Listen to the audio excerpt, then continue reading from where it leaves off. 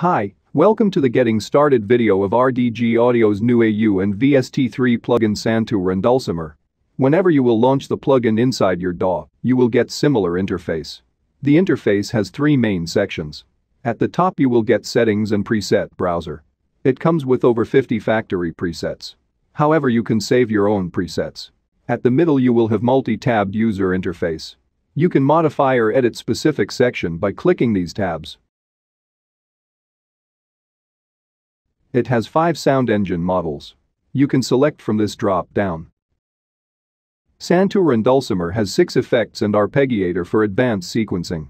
At the bottom you will get saturation and mid-boost knobs followed by volume, pan, and stereo enhancer. Let's take a listen some of the factory presets.